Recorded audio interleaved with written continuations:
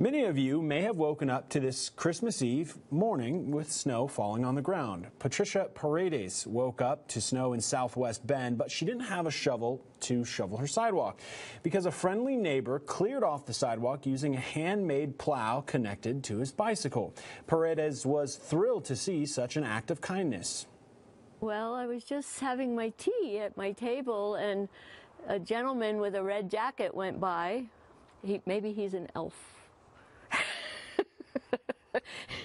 it was really sweet, especially this year, um, because it's been a tough year on everybody, and to see that people still are reaching out and not just thinking about themselves, it really um, it meant a lot to see and to be the beneficiary of such kindness.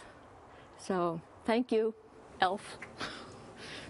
Paredes says the man did several laps around the neighborhood but never asked for money or even a thank you.